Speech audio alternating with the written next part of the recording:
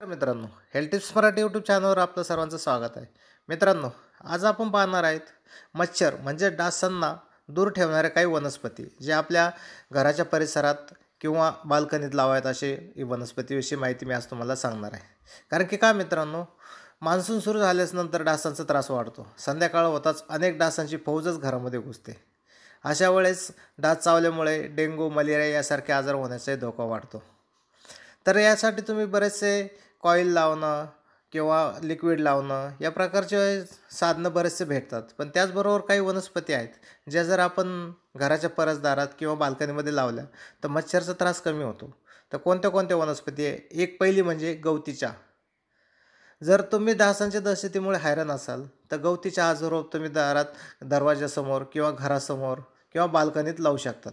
याच्यामुळे गवती चहाचा जो वास असतो त्याच्यावर मच्छर कमी होतात.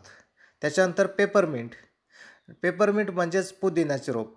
जर तुमच्या बाल्कनीमध्ये किंवा घराच्या कुंड्यामध्ये पुदिन्याचे रोप असेल ते जर तुम्ही संध्याकाळी दारामध्ये ठेवले किंवा घरामध्ये ठेवलं तर त्याच्या वासाने मच्छर कमी होतात. त्याच्यानंतर चौथा वनस्पती म्हणजे रोजमेरी. रोजमेरी हे नैसर्गिक डासापाच्या बचावापासून करणारा उपयोग आहे एकदम वनस्पती आहे. त्याचा सुगंध हा डासांना आवडत नाही. त्याच्यावर हे जर रोपे जर बाल्कनीत लावले तर डास पळून जातात. त्याच्यानंतरचा चौथा वनस्पती आहे लिव्हेंडर लिव्हेंडरचा वास हा खूप चांगला असतो. आपल्याला तो खूप चांगला वाटतो. परंतु डासांना हा वास बिलकुल आवडत नाही. त्याच्यामुळे जर तुमच्या अंगणात परसदारात जर लिव्हेंडर असेल तर त्याच्यामुळे रात्रीच्याला जमा होणारे डास कमी होतात आणि तुमची डासापासून सुटका होऊ शकते. तर पाहू मित्रांनो ह्या होत्या एक दोन चार वनस्पती. या जर तुम्ही तुमच्या बाल्कनीत लावल्या तर मच्छरपासून तुम्हाला बराचसा आराम मिळू शकतो. धन्यवाद.